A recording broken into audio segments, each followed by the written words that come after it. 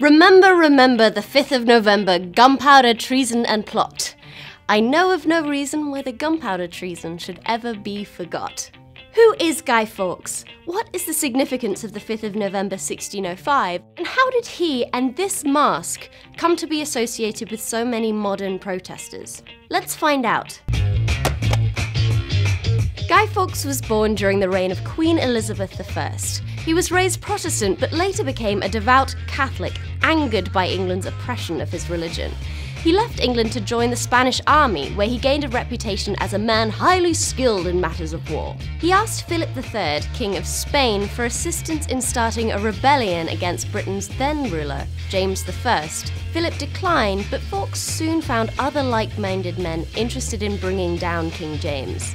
He was invited to join what would later become known as the Gunpowder Plot, Fawkes and four co-conspirators rented a cellar under the House of Lords. Fawkes was responsible for getting the gunpowder and igniting it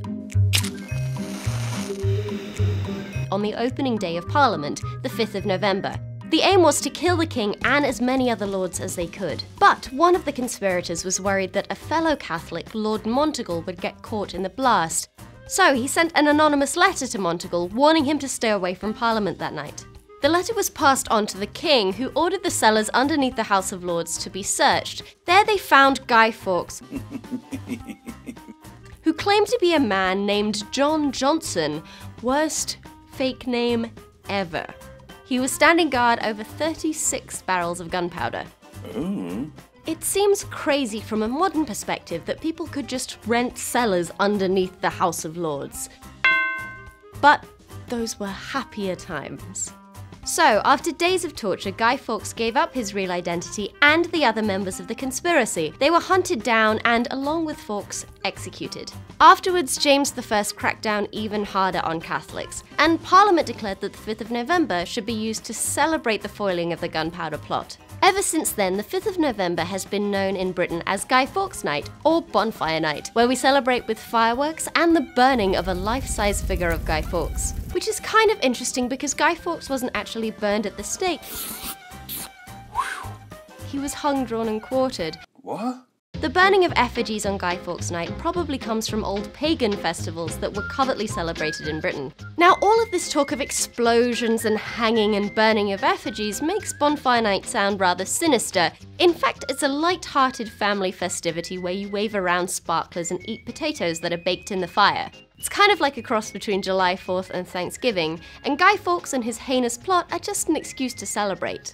Today, you may know Guy Fawkes best by his mask's association with the protest group Anonymous. Artist David Lloyd drew the mask for Alan Moore's graphic novel V for Vendetta about a masked terrorist who sought to emulate Guy Fawkes and overthrow a fascistic British government in a dystopian future. It seems like the perfect fit for a group like Anonymous, who also sees itself as standing up against oppressive forces and prefers to keep the identity of its members a mystery.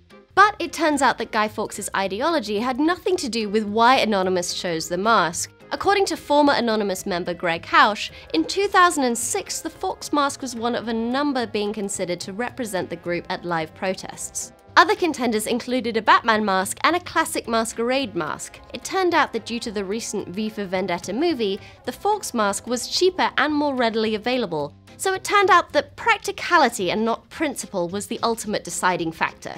So that's what Guy Fawkes and Bonfire Night are all about. Thanks for watching, subscribe for more videos, and let me know in the comments if there are any obscure little bits of British history that you are yearning to get to the bottom of. I highly recommend this one. Yeah, watch this one. This one's very short, it won't take you any time at all.